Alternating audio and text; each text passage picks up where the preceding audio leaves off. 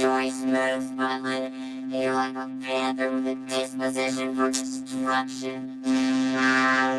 What do you say, Toby? Yeah. You say shit. You're talking about children, look out.